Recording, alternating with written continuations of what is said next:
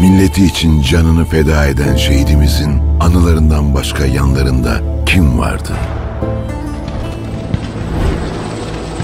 Gazi Yavuz ve Gazi Osman hayata tutunmaya çalışırken yanlarında kim vardı? Şehit kızı Beyza hayallerine ulaşmaya çalışırken yanında kim vardı? Tabii ki siz vardınız. Mehmetçik Vakfı bağışçılarının desteğiyle şehit ailelerine, gazilerimize ve yakınlarına destek olmaya devam ediyor. Emanetlerinin yanındaysa yüce gönüllü milletimiz var. İyi ki varsınız.